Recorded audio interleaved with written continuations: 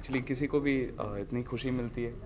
ऐसा थोड़ा सा पल हम जो अपने ज़िंदगी में से निकाल के उनको दे सकते हैं I think it's really important क्योंकि उनको उनको कॉन्सर्ट पे आना या कहीं शो पे आना एंड सेलिब्रिटी से मिलना या उनसे, उनके गाने सुनना या उनको देखना, वो यू नो मुश्किल हो जाता है उनके लिए। तो I think C P A ने जो इनिशिएटिव है to call all all the people who can inspire and जो Uh, ढेर सारा प्यार दे सकते हैं। I think it's a great initiative and my friend Tiger also at just come so I think it's a great thing that we all are doing and it's all for bringing a smile कि वो बच्चों के एक face पे एक smile आ जाए। वो हम लोग का वो हम लोग के लिए uh, खुशी की बात है। How you want to support them to moral और education well you know I don't I don't believe in using the word charity at all क्योंकि वो मेरे डिक्शनरी में नहीं है।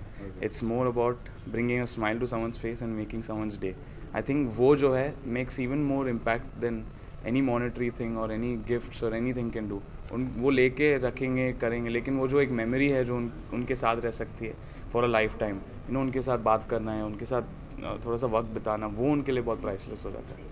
So I feel that's more important रहूँ या ना रहूँ तुम मुझमें कहीं बाकी रहना। मुझे नींद आए जो आखिरी। तुम ख्वाबों में आते रहना।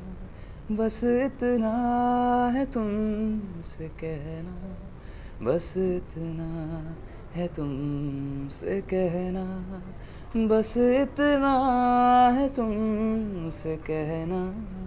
बस इतना है तुमसे कहना। So thank you so much thank you thank you